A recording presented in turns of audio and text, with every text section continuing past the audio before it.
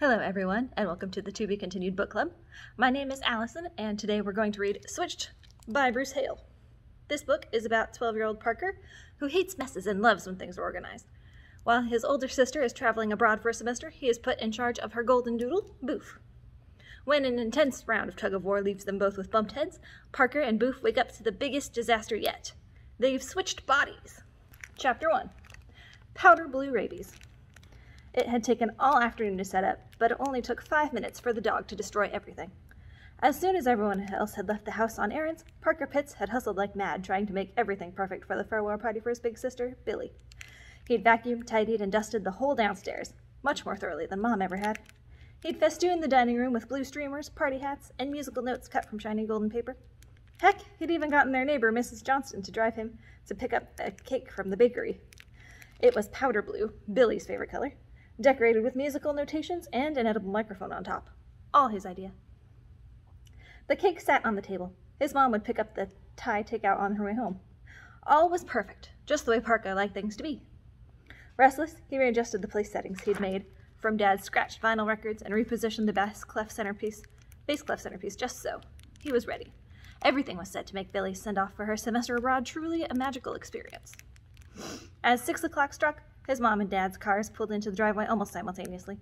That alone made it a red letter day. Parker couldn't remember the last time they'd both been home for dinner together. Gee, and all it took to make this rare event happen was one of their kids leaving town. At the thunk thunk of car doors and the happy chatter of everyone coming up the walkway, Parker smiled. He loved how his family was a rainbow of color, from his mahogany skinned dad to his wheat skinned mom, with he and Billy falling somewhere in between. His grandma used to be on the walnut colored end of the spectrum, but with an effort, he forced away the thought of her. What you didn't think about couldn't hurt you. The front door swung open. We're home, Mom called. Right away, the clickety clack of doggy toenails scrabbled on the entryway's wooden floor. Thunderous footfalls and thuds from bumped furniture marked the progress of Boof, Billy's shaggy golden doodle. Parker gritted his teeth. That dog! He burst into the dining room like a dirty blonde hurricane. Making straight for Parker, the dog reared up on his hind legs, planted two massive paws on Parker's chest, and bathed his face with a tongue funkier than fifty weeks' worth of dirty gym socks. Parker staggered back. Yuck! Twisting away from the creature, he swabbed at his slimy face with worm. Now he'd have to go wash again. Bad dog! Down! Nothing he said seemed to sink in. Of course, that wasn't surprising, given that Boof had plunk- flunked out of the Perfect Puppy Academy, and that Billy rarely bothered to reinforce the few commands the dog did learn. Boof jumped up again. This time, one of his sharp toenails caught on Parker's shirt pocket. When Parker tried to shove the dog away, the fabric tore with a loud rip. His favorite Star Wars t shirt, wrecked. Parker's face flushed hot. Bills, he cried, get this thing away from me. Bored of jumping, Boof thrust his nose into Parker's crotch and took a loud, deep whiff. Parker raised a knee, spinning away. Billy! Gliding into the room like a long necked princess in ripped jeans and an explosion of curls, Billy patted her thighs. Come here, Boofy Boof. Is the widow puppy bugging my widow brother? Is he? The mop haired dog thwacked his tail back and forth, knocking party paper hats off the chair and onto the floor. Amber eyes shining, he padded over to Billy and licked her face up one side and down in the other. Parker shuddered. Little puppy? He weighs almost as much as I do. He collected the hats, wondering if they'd be contaminated by dog germs. Could you sterilize paper hats? Just then, Billy noticed the decorations. Her mouth fell open in an O, and her hazel eyes widened. For me? Parker nodded. Oh, P-Man, you're the best! She beamed so broadly her eyes disappeared into slits. Rushing forward, Billy gave him a fierce hug. I'm going to miss you, bro. Yeah, I know, said Parker, ducking his head. His throat tightened. Though she was four years older and technically his half sister, that didn't matter. Ever since Grandma Mimi had helped them bridge their differences five years ago, Parker and Billy had been pretty tight. He was really going to miss her. Of course, if he admitted this to Billy, her head would swell so big she'd never fit through the airplane door. So he let her guess. Oh, and that cake, she squealed, squeezing her hands together. Total coolness! Parker couldn't hide his grin. Thought you'd like it, he mumbled. Then his skin prickled with drying dog slobber and he shivered. Um, be right back. Parker hurried into the kitchen and blasted the hot water, vigorously scrubbing his face and hands with soap. Too bad Boof wasn't like the animals from one of his favorite fantasy tales, all helpful and full of natural wisdom. He was no Aslan of Narnia. In fact, as far as Parker could tell, this dog's wisdom consisted primarily of knowing which cat poop was the crunchiest. Did you tidy up around here again? asked his mom, setting some takeout bags on the counter.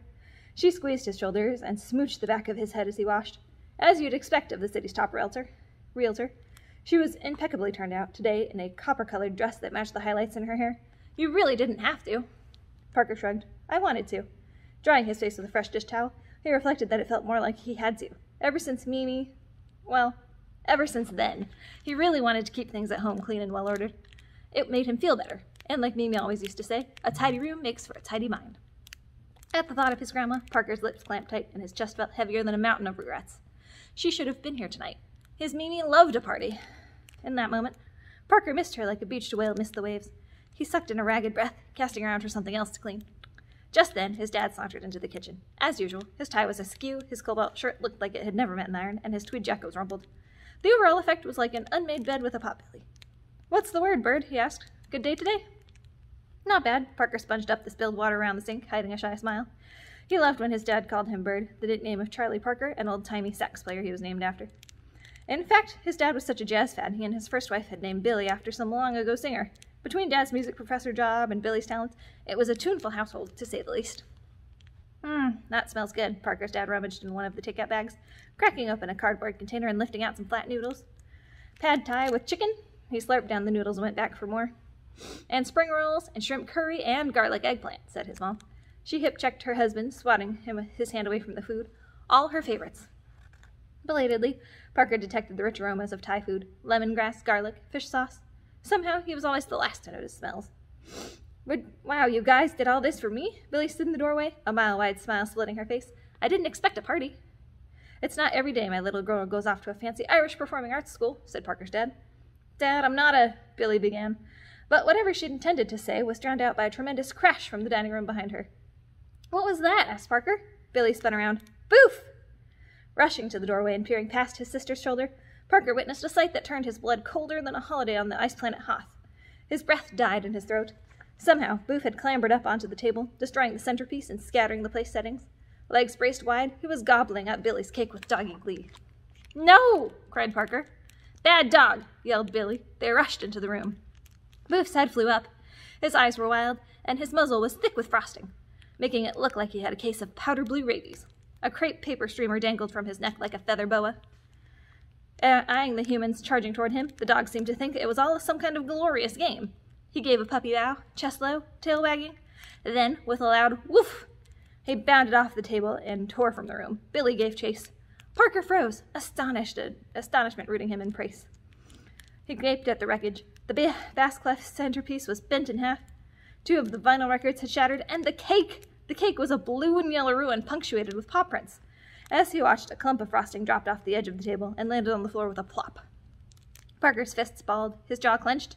His skin itched all over with the burning need to clean up this awful mess right now, right after he strangled that rotten dog. Then, from the corner of his eye, a flash of violet light caught his attention. Parker did a double take.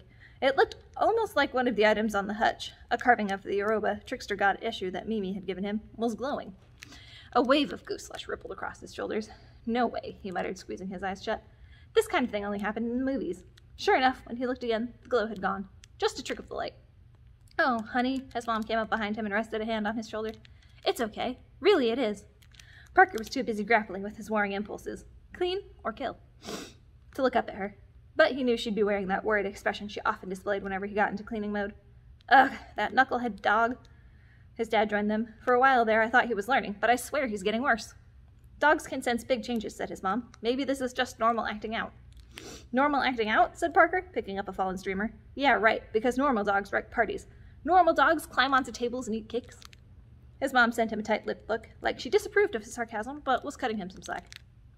Dad shook his head ruefully. I told Tina it was a bad idea to give Bailey a dog, especially with her semester abroad coming up so soon. And since when has your fancy pants ex ever listened to you? The edge in Parker's mom's voice was sharp enough to slice stale bread. Tina loves to spoil her, when she happens to remember that Billy exists. Parker's sister poked his head through her head through the doorway. Where's Boof? You lost him? asked Mom.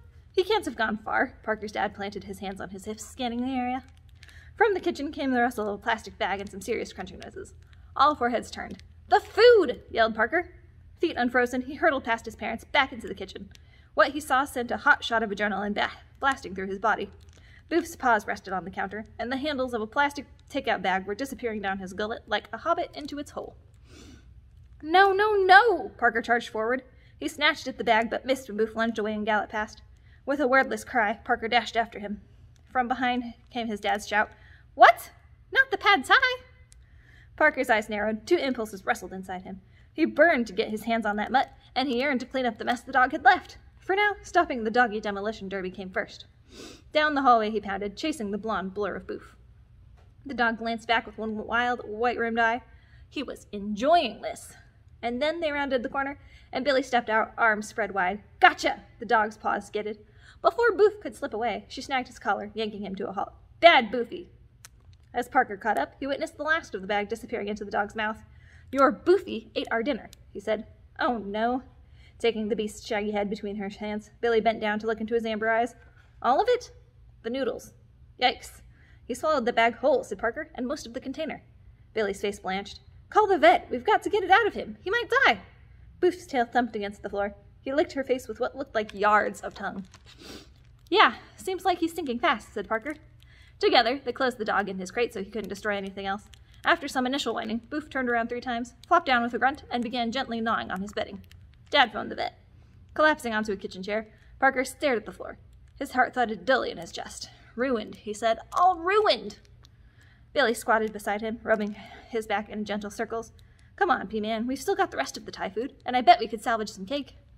Parker couldn't meet her gaze. It's a puppy apocalypse. He quivered at the thought of the mess. It made him itch like foxtails under the skin. Not another second.